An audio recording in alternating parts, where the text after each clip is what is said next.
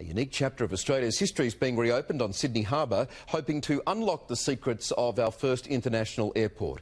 Archaeologists have begun the first ever survey of the site at Rose Bay, where remnants of the past have been hidden for almost four decades.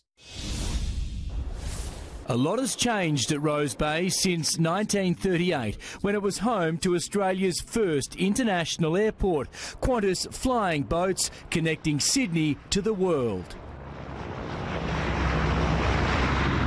Replica signpost and memorial plaque remain as tributes to a bygone era, but many secrets have been hidden for decades. It would have been used as a hold down point for the aeroplanes. Overlooked by progress ever since the boat stopped flying in 1974. The locals have been saying to us they still remember them coming here in the 70s and how spectacular it was to watch them land and take off. Stirling Smith is leading the first ever archaeological survey of the site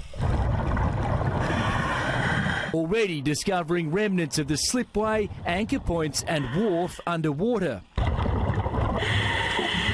Even an old refuelling point on the original apron, now within the Woollahra Sailing Club. There's lots of things we've learnt, um, and there's probably more things to learn after we put all the data together and then analyse it. This field is where the aircraft hangars once stood